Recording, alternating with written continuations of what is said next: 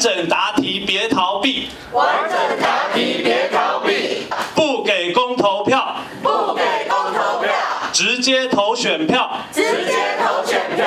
高喊基隆市长必考题不给公投票，直接投选票。年底选战进入最后白热化阶段，由公民团体和环保团体组成的守护外木山行动小组，特地召开记者会，针对台电要在外木山协和发电厂填海造陆，新建第四天然气接收站的争议，公布基隆市五位市长候选人：一号谢国良，二号陈维仲，三号蔡世应，四号曾国明以及五号黄希贤是否？签署同意或不同意填海造陆等三个问题承诺书的结果，其中只有三号蔡世印没有签署而被标示缺考。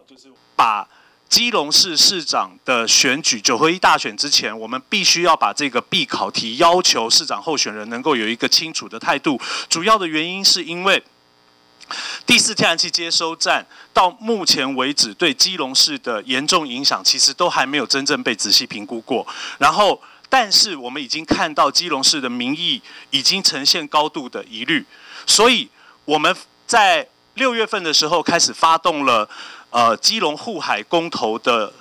实践行动。但是我们发现，我们从六月十七日把两千四百七十五人的联署人、提案人送进基隆市政府之后，从六月十七日到目前为止。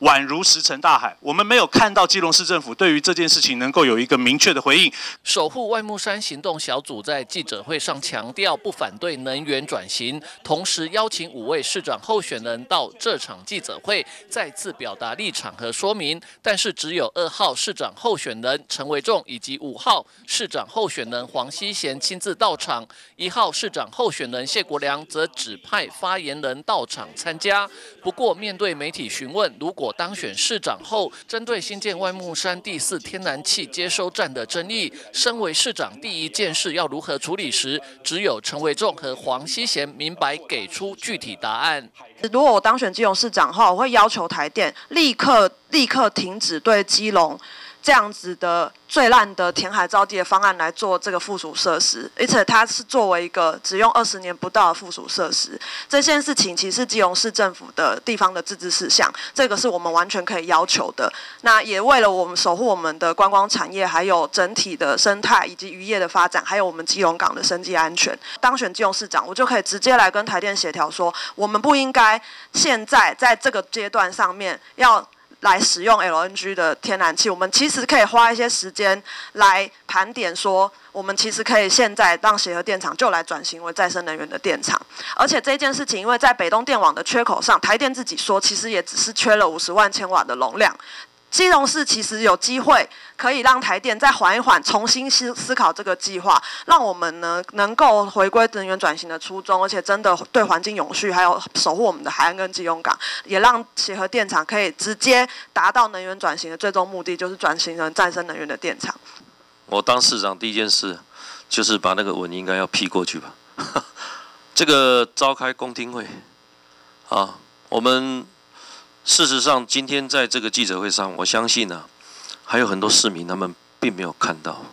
所以我认为应该要召开，马上召开公听会。第一个，第二个，召开这个双方的一个辩论。我相信从我们这个环保团体所收集的资料，啊，各方面看到的东西啊，足以让台电去改变他们的想法跟做法，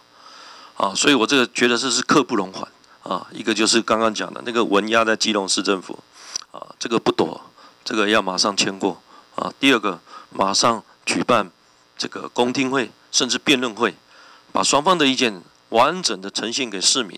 也让中央，也让全国看到基隆在为这一块土地、这一片海洋捍卫上的决心。我市长绝对支持。这场记者会也邀请相关公民团体代表在现场发表重视能源转型，也要守护海洋环境的重要性。而包括中正区一号市议员候选人张渊祥、安乐区二号市议员候选人江心怡，以及平地原住民一号市议员候选人板奈努尼老王，也在现场响应支持。记者吴俊松机动报道。